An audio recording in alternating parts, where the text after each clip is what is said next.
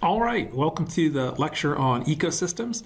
This is going to cover uh, the E.O. Wilson reading on Hawaii, and we're going to talk about uh, bio, both ecosystems, both from a biological perspective and from a conceptual perspective. Okay, so I want you to think about, first off, uh, ecosystems as a biological or scientific term.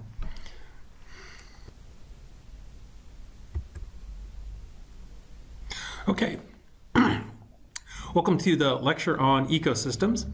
Um, we're going to look at ecosystems both from a biological perspective and from a conceptual perspective. And we're going to, um, in the course, I'll talk about ecosystems or oftentimes systemic thinking as kind of interrelated concepts.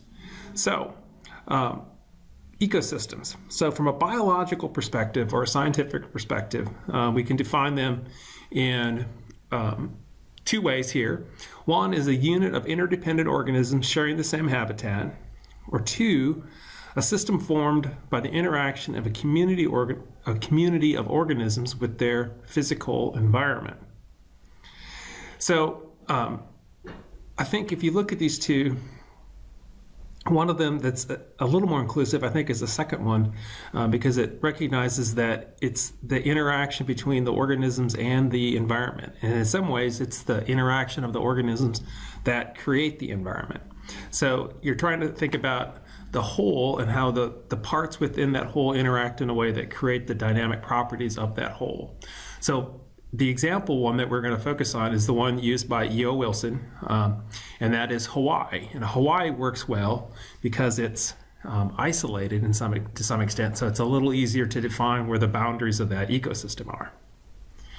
Um, and then I'll use the term ecosystems a little more loosely um, to help us conceptualize um, what I think of as systems thinking or systems theory, and I'll give you some specific principles about what that entails. So, one thing from the ecological or the systems theory perspective is you understand reality is made up of um, processes more than specific things. So, if you think about, for example, the human body, you can think about the body as a collection of different organs or different uh, tissues, um, but really the it needs to be understood as a dynamic process. Um, in other words, a body that doesn't have anything moving or doesn't have any energy flows in or out, we would call dead. And most of us don't think of that as the human condition. We think about the body in that dynamic form where it's engaged with its environment and it's trading oxygen and carbon dioxide, it's heat regulation, there's um, regulation related to other social systems, other people, um, but it's a it takes on its characteristics and it has its fundamental being in terms of a process as opposed to a static state. Um, a second point is that within systems thinking, we understand reality as networked. So, in other words, who you are or what you are is comprised um, almost more by the relationships that you're nested in as opposed to something that exists in the abstract. So you would understand, so a simple comparison might be between um, understanding the person as something that's separate uh, from the community or understanding the community kind of comes first and a person emerges from within that um, network of relationships that defines the community. And then the third point is that you have uh, recursivity, or in other words, systems within. So a recursive system is one where there's systems within systems. So if you think about like a human, uh, an individual person, uh, within them you have uh, the cardiac system, you have the immune system, you have the digestive system, you have uh, a number of systems, and then those systems have components, they have tissues, and the tissues are made up of cells, etc. So it's seeing that reality is not flat, it's there's pieces within things. And we'll talk through this as we go, and it'll make more sense. Okay, so Wilson's, the chapter that this came from is called The Future of Life. And um, Wilson here is showing you um, a bunch of different living species. And the interesting thing about this is all of these species that he shows are either um, have gone extinct or are headed that direction. And so he's asking you to think about um, the future of life. Usually, when we say that, we think about human life, uh, but he's saying that really human life is just a subset of this broader um, collection of living things on Earth. And really, because we're facing this extinction crisis among different species, we're really facing a crisis that has to do with life itself. Um, so, other authors in the environmental movement have written about the end of nature. Is nature still the same now that humans have transformed it so much? Um, and Wilson here is trying to get you to think about the end of life um, as we know it. And the um, point of the Nature's Last Stand is the chapter you just read is that it's really down to the wire where humans have to make a choice of how we're going to um, either preserve or eliminate a lot of the rest of life on the planet. So, what are our goals here? So, we're trying to understand the different threats to the ecosystem, um, and specifically the species extinction crisis, which is related intimately to the global warming crisis. And then, secondly, I want you to think about some of the moral implications of species extinction. Okay, so what are our key points here? Uh, we're going to go through these six points coming up. So this is just an outline, but we're going to look at Hawaii. It's kind of a case study in degradation or massive changes in an uh, ecosystem. Going to look at the forces of extinction. That's uh, Wilson's hippo. Uh, we're going to look at deforestation, the impact of global warming. Then he ends the chapter looking at different um, invasive species, and then some more kind of philosophical questions and um, choices for humanity having to do with the future of life. Okay, so case study uh, in degradation, Hawaii. So there's a myth that an ecosystem is kind of this random collection of species, and I'd have you think about how is that inaccurate? How does what does that miss? And I think what we'll see in uh, Wilson's discussion is that an ecosystem is typically something that has grown up over time and has been established by a long term interaction of different species. And the species are added in a very slow way. So maybe one every uh, thousand years or something like that. And it's going to then um, have a very different set of properties than just some random collection of things. So some points to consider with Hawaii is the, the geographical history, the natural history, um, human history, and the role of invasive species. So the geological origins of Hawaii, it means it came about on its own um, in the middle of the Pacific um, um, from volcanic activity. So there's this volcano stuff going on, and then as the plate is moving across it, you get these little burps that end up becoming islands. Um, and so you can see how Hawaii is part of this long um, train of islands that were formed by the volcanic activity. So what's the significance of this? Well, it gives us kind of a almost perfect environment to see how an ecosystem comes into being and, and how it gets established because this land didn't used to exist and then it does exist and we can see what happened over time. So Wilson makes the point that it had a very different kind of ecology until humans got involved. And those humans got involved a long time ago. So we're talking about what we might call primitives or indigenous peoples getting in canoes and going across and landing in Hawaii. And so this has been going on for hundreds of years. This is this process of transformation started even before the Industrial Revolution by a long shot. And he talks about just two specific species that came over. One, uh, they brought over some pigs with them, and the pigs were a food source, and they were domesticated, but then the pigs got loose. Look at them, running wild, um, and they became feral. So, feral means it's a domesticated animal that then um, becomes undomesticated, and it breeds in the wild. And you also call these like warthogs. Um, and then the ant came over, um, just attached to the ships or in the cargo. Um, they weren't intentionally brought in, but they, they came along as uh, freeloaders. And um, the ant is a very ferocious species. We might not think about that, um, but for the kind of smaller insects that it's going to compete with, uh, because of its social structure, it's a it's a formidable foe. So instead of having because of its social structure, it's much like an army, so it can really gang up on other insects. And Wilson talks about the impact of both the ants and the warthogs. So the ways in which he talks about the ants making a difference is the ants come upon this environment where there's no other ants that have been here. And suddenly, these species that have been adapted to an environment that was ant free are encountering this new kind of species, um, the ant. And the ant um, is able to kill off and radically transform um, the environment on the more micro scale um, and eliminate most all their insects, and that has an impact on the birds that feed on those insects. So there's this chain reaction, and you'll see that lots of times because of the couplings you have among different species in an ecosystem. If one of them um, if a change is introduced, it kind of ripples through the system. Same thing happened with the pigs. So one of the things the pigs will do is they will, if you've ever seen pigs, they like to root around in the dirt. I think this guy's thinking about rooting around, and that creates um, pockets or um, holes in the dirt that then fill with water. And then the water um, is a perfect breeding ground for mosquitoes, which often carry malaria. And so then when the mosquitoes bite birds, the birds get malaria and many birds die. So again, it's a kind of a concept, it's a chain of events, but the pigs are messing up the environment because they're uh, introducing elements very quickly that weren't there before. So an invasive species is one that um, is not native to a certain ecosystem and that comes in and transforms that ecosystem because the other elements of that ecosystem have not, through their evolutionary history, been adapted to dealing with um, that species.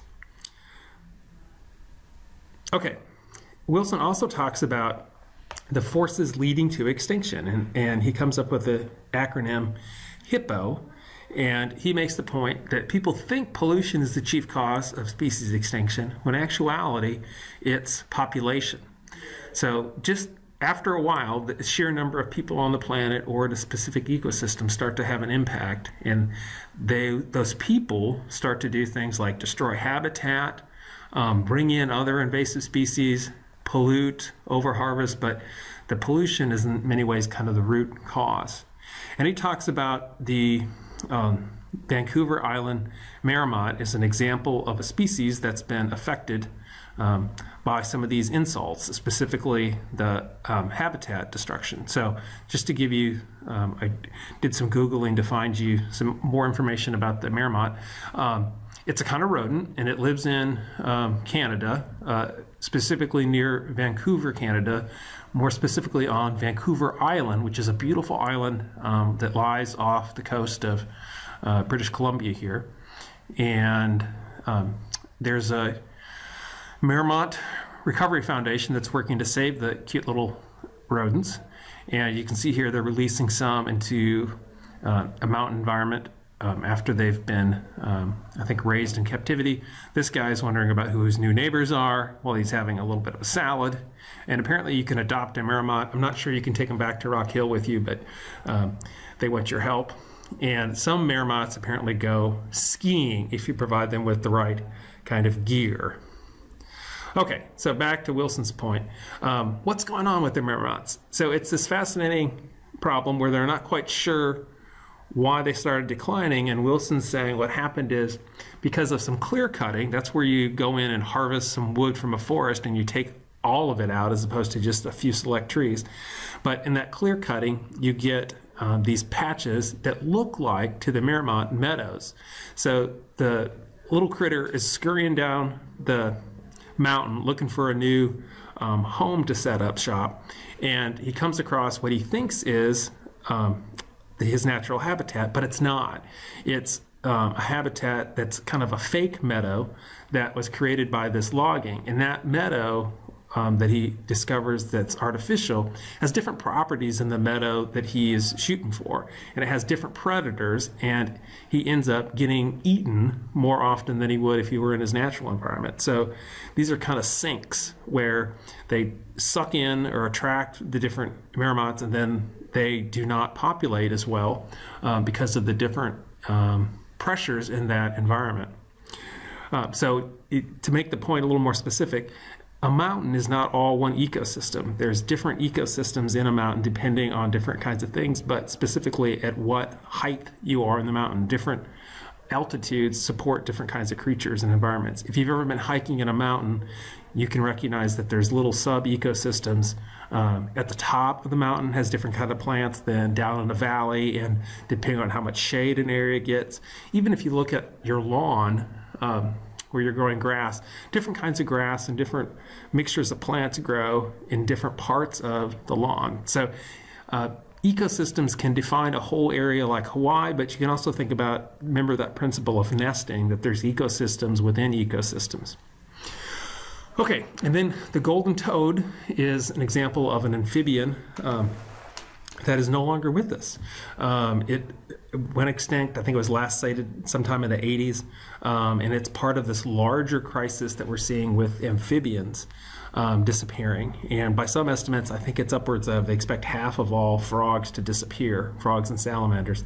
And they, some of it is related to global warming, they think. There's a certain fungus that they're more likely to get attacked by. Wilson makes a point that they're kind of like canaries in a coal mine because since they breathe through their skin, they're very sensitive to any changes in um, the environment and they uh, are susceptible to getting things like um, viruses and infections and whatnot. Um, so some extinction forces here that brought the frog's demise about we're not quite um, sure about, but we can be fairly certain that traces back to um, some kind of human activity. Oh, one last point. When I say synergy here, synergistic insults, what that's suggesting is um, a synergy is when two things work together to bring about something that they wouldn't on their own. So, in other words, these properties interact. If you have pollution and overpopulation of humans, um, that's going to do more damage than anything in isolation. Okay, get through the skiing Marmots. Um, third thing Wilson talks about is the damage of deforestation. And he's um, so a myth might be that you could just save 10% of the Amazon forest and that's enough, and you can kind of replace it as needed. He makes the point that when you cut down a large area to a smaller area, you have a um, you're already eliminating different species because different species will live in different parts of the whole Amazon or part of the forest. And so you can't, even if you preserve just a chunk of it, you're already going to have lost a good chunk of the, the biodiversity that was there. So just a few um, pictures here. Um, the Amazon is huge. It's as big about as the continental United States.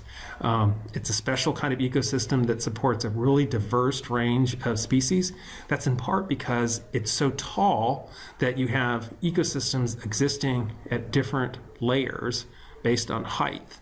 Um, and then other factors that make it just a very complex interactive system that produces a lot of diversity. So some extensive points here. Um, extensive biodiversity. Within 10 square kilometers of a rainforest, you have all the biodiversity that's represented in Europe. Um, that's pretty amazing. Now, some of that biodiversity isn't large exotic creatures, it's little insects, but they still count. Those still are different kinds of life. The rainforests are fragile because um, a lot of the nutrients are in are above ground, so they don't have as in the, the Midwest, say, a, a, prairie kind of structure where a whole lot of organisms are living in the ground beneath the, the surface. Most of the nutrients above ground. So when you clear cut and when you pull out the trees themselves, you leave the uh, ecosystem very vulnerable. And Wilson talks about how winds blowing in from the side, if you take out the edges of the forest, can really dry out the forest very quickly um, and bring about its um, demise. So it's rich but fragile. Um, it's disappearing at the rate of about, um, they, he gives several estimates having to do with Florida. Some people say it's about twice the size of Florida every year. Some people say it's about half the size of Florida every year, or about the size of Florida. But at any rate, it's a good chunk that's disappearing. And if you think about Florida relative to the size of that whole um, forest, it wouldn't take many years before all of this will be gone. Okay, and then another point about it is um, there's this um, recursive relationship uh, uh, that moisture has in that the rain um, is not oftentimes coming in from outside the ecosystem, it's generated from perspiration of the trees. So there's some way in which the, the rainforest creates its own rain. And again, cutting into that, you want to think about cutting into the rainforest as kind of cutting into you. If I say, oh, I'm just going to cut off this arm or I'm just going to cut off that leg, um, it's more integrated than you might think. And it's more, each part is more dependent on the whole than you might think. Okay, and then just a few other pictures here of um, rainforest. So see, these are some of the funky, interesting creatures that you'll see in a rainforest. You can tell that some of these have developed mimic properties to look like sticks, so they're less likely to get eaten. Um, I think this creature is probably mimicking different kinds of pokey spines on plants so you won't get eaten. This is the fishbone pattern of logging that Wilson talks about. Fishbone is what it looks like from the air where you have a main road and then you have these offshoots of it. And here's a picture of Brazil, kind of the heart of the Amazon, and the, the purple area here represents area that have been deforested.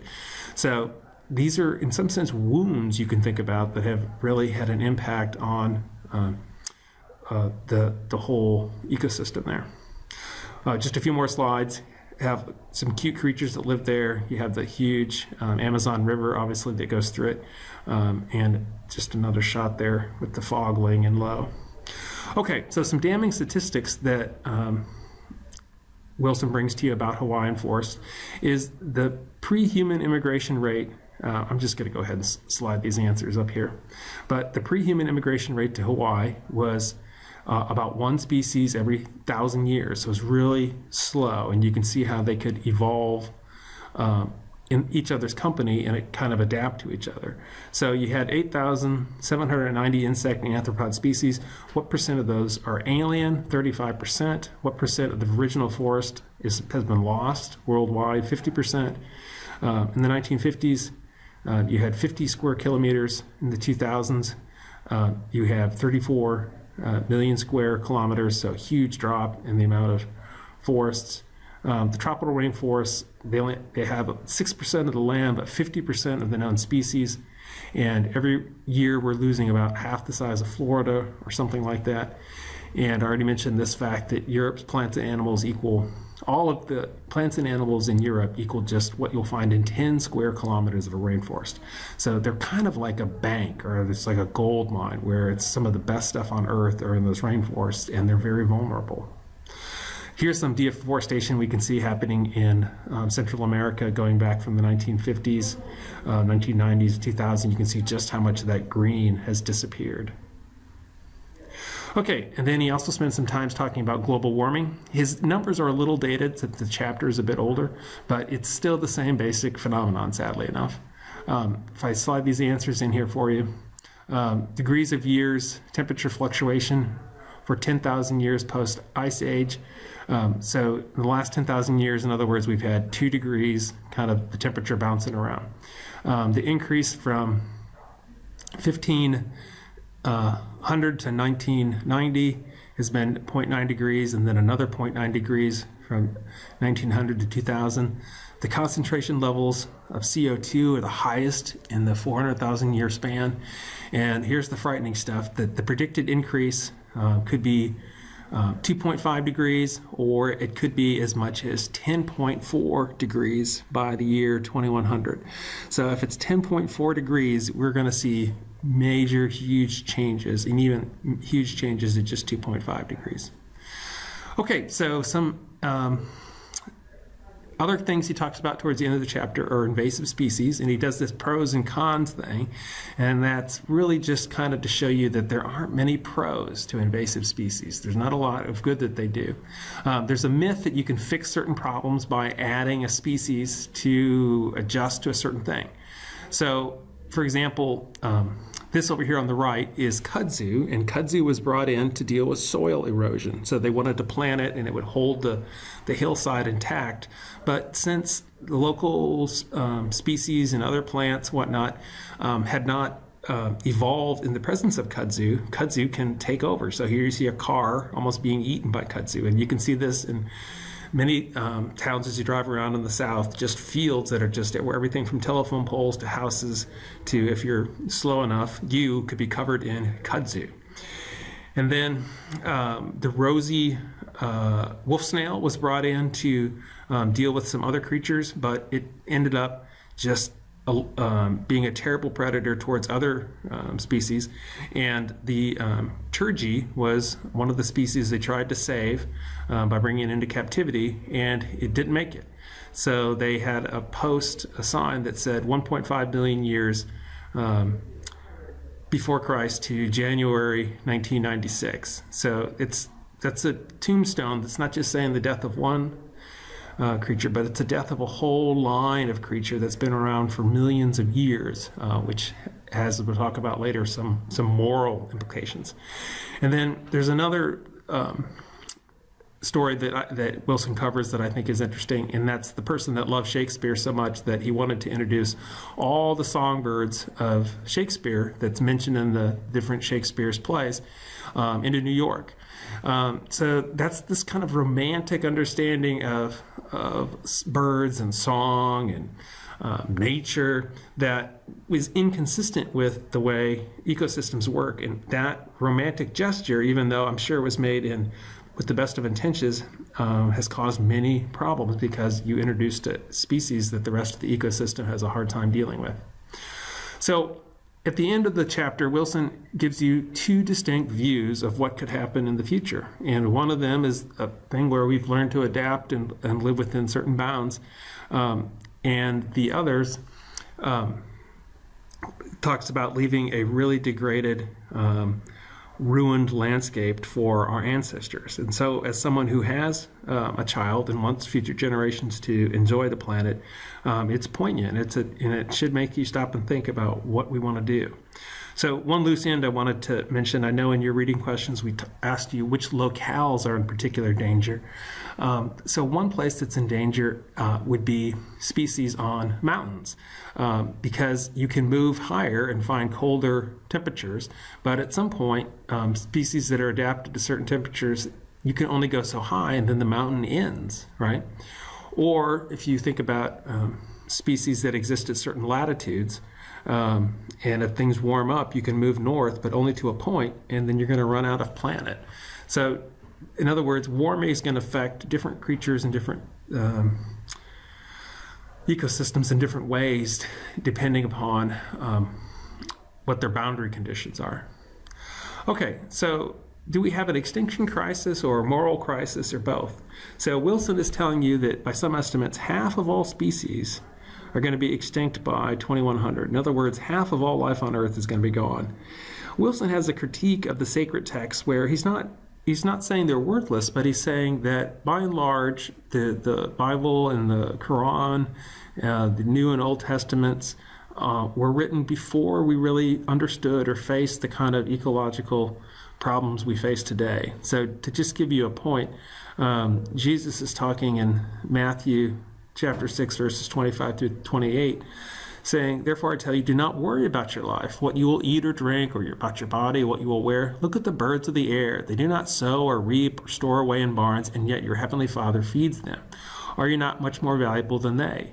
Well, what Wilson is saying is the clock is ticking, and the Heavenly Father appears not to be feeding the birds like he used to. So when you're messing with the globe in a way where even certain scripture texts that were written 2,000 years ago aren't going to have the same meaning that they once did, we could say that that's a pretty profound transformation of the planet. Another related point on that is if nature is this drastically changed, it really calls into question what we even mean by natural.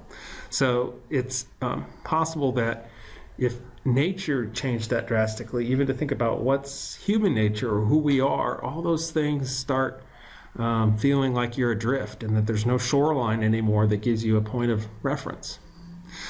Okay, so we're going to do a few slides here on what I call um, ecological thinking or systems thinking. At this point, we're stepping a little further away from the way biologists would use the term properly to think um, a little more broadly about it. So one of the ways that systems thinkers think about this is that biology is offers a certain kind of model that's different than physics. In other words, biology is looking at um, a way in which systems are nested within systems where you have parts of organisms, organisms, communities of organisms. Um, it's giving you a way to think about how all these things fit together. Um, in contrast to physics, if you understand physics is just this thing hits that thing and then this thing hits that thing, and there's not these systemic properties. So, some of these basic systemic principles that we talked about at the very beginning of the lecture, you have the idea that reality is dynamic. So, in other words, processes determine material conditions. Um, you think about weather, for example, or metabolism, or the temperature of the planet a lot of these realities are the outcomes of a set of forces interacting, and dynamic means they're ever changing and they're in flux. Um, we also have this principle that things are networked, so the something is what it is because of the interdependent web that it's um, located within. So um, the nature of the insects in Hawaii changed drastically once you had ants introduced because those interdependent webs changed. Um, and then also we have this point that it's things are recursive. It's not that you have parts, it's that you have each thing as a system within a larger system. So some other kind of systems we can think about, economies oftentimes function as systems where they have overall properties that come into being. Um, so you can talk about an unemployment rate that, that comes about or a GDP that comes about through the interaction of all kinds of complex factors that form an economy. You can talk about families as having systemic properties. So um, the interaction of a mother two kids, a father, a dog, and a hamster, it's going to be more complex and it's going to have more properties than just those individuals on their own. Cultures and languages have properties of systems. Um, so cultures are uh, are things that evolve and change over time and dictate the behaviors of individuals in them. Languages are things that evolve and change over time and have a lot of complexity. And then you think about organizations um, like Winthrop or the state of South Carolina or um, physicians as a, as a body, as an organization, um, all kinds of things like that can have systemic properties. Okay, so some specific visions of systems thinking that would be helpful for you to know. Um, a classic is the Gaia hypothesis. Gaia is um, the Gaia hypothesis was uh, introduced by a guy named James Lovelock, and it's named after the Greek earth goddess. And he's trying to get you to think about the earth as a living organism. So the whole thing is a living organism. So, in that sense, we can think about uh, geophysiology. So, like you have a physiology, the way in which your body interacts and, and maintains itself. Same thing for the earth. So, there's this idea that you have a complex, dynamic, oh, that got cut off there. Oops, homeostatic it should be homeostatic system. It's self-regulation of the atmosphere is what he's looking at in particular. So he did this thing called daisy world modeling, where if you remember your grade school physics, black absorbs more heat than white. So if we imagine the heat of the sun is going with this dotted line, what will happen within a certain band, the, the planet and his modeling of this on a computer will change the percentage of white versus black daisies um, to adjust to the different temperatures that the sun is throwing at it so that in within some band see this flat line here within some range it can be a self-adjusting system a self-regulating system so that the system can maintain a certain kind of um, stability despite changes in the input. So that's one version of systems thinking. Um, it's not technically in a literal sense true, but it captures some of the essence of trying to think in terms of wholes that have emergent properties um, rather than just the earth as being a collection of separate pieces or parts. Um, one of my favorites is, um, in terms of system thinkers, is a, guy named Gregory Bateson, um, and he was doing a lot of writing back in the 60s and 70s. Um, he had a famous book called Mind and Nature, and he was trying to think about um, human thought as a part of ecology. So, in other words, you have dolphins and elephants. Well, human thinking enters into and becomes part of the ecosystem that these other creatures live in. And so we tried to find some parallels between the way nature behaves and the way our mind behaves. And you can think about there's some similarities, right? They're both dynamic systems, they're selective, there's certain things they pay attention to and certain things they don't. And they're trying to make sense of something, and there's a, a synthesis and a distilling and a um, evolving property to them. Um, he thinks about the mind as this thing that emerges within nature as opposed to like the mind of God or the mind of humans as coming first and being able to step outside of nature. And he also thinks about the mind as potentially pathological. So, in other words, we can adopt certain ways of thinking that really lead to dangerous outcomes. And one of the things he picked on or, or criticized was a very the kind of thinking that's conscious and linear but that doesn't recognize systemic interactions. So the kind of thinking that says, me want that, me get that. Well, that can um, maybe help you get that thing, but you may not recognize all the damage that you're doing in the process of getting it. Um, so, just an example of his kind of thinking here, and this is more heuristic than a say a model you could run out and test, but he's saying here there's this interaction, there's a set of um, systems then together a larger system where you have population dynamics, the number of people on the planet, technology, um, the kinds of things that, that come about when you have a lot of people, and then hubris, this idea, this kind of arrogance that humans are wonderful things that we can control our environments and you see how they all kind of feed on each other but then they throw off these side effects we may not like like famine war pollution are all things that can come about through um, the interaction of these specific things. So just to think about this, um, think about the effect of cars and what cars do. Um, the more people you have, the more cars you have. Cars make us think about ourselves as things that can get around on their own, that kind of feed into that idea that we can conquer the world and get where we want to get on our own. But there's a certain lot of pollution that comes about from cars. And maybe because the money we spend on cars, we're not spending it on things we could do to prevent famine and, and such. Okay, and then a few other points here. Um, deep ecology is a concept that um, Arne Naess has written about. Arne Naess was a philosopher, Norwegian philosopher. And um, this is arguing against obviously shallow ecology. And shallow ecology is thinking about the world in terms of just a set of resources um, that humans can use.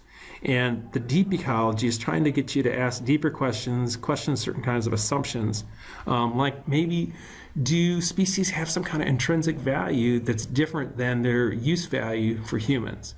And he takes certain concepts like democracy and tries to make it more inclusive so that you can imagine species as being something that we should try to include in a democracy, other species besides humans. And he also talks about self realization is not an individual um, process that you might think about a self help book helping you with, but self realization is seeing yourself in the larger whole of nature and realizing that in a way that connects you with that larger whole. Um, close related to that, uh, Warwick Fox has an idea of, um, talks about transpersonal psychology. So, trans meaning across. So, a kind of psychology that's more than just the psychology of individuals. He points to um, Abraham Maslow, you might have heard about. Uh, Maslow, had the hierarchy of needs in this idea of self actualization. But towards the end of his life, um, he was realizing that some of the self actualized individuals were kind of egocentric, they were kind of selfish, they kind of had an atomistic, um, self centered view of the world, and that they kind of wanted the best outcomes for them and the ones they love, but maybe not, they maybe weren't thinking past that. Well, he identified these folks he called transcenders that that somehow reach past that individualism and connected with a larger whole. And his articulation of, of transpersonal psychology was an attempt to kind of express that, uh, those folks that embrace that larger reality. All right, and then later in the course, we're going to examine some specific um, some specific systems where we can see how human psychology influences and shapes those systems and how those shapedoms how those shapedoms shapedoms how those systems shape human psychology. So we'll look at um, suburban sprawl and cars and how the density of cities affects the kind of transit systems that we can have. Um, but basically looking at the concept of dwelling and dwelling is you know just how we live inside structures in space. And then we'll also look at eating and we'll look at um, industrial agriculture fast food versus different models of sustainable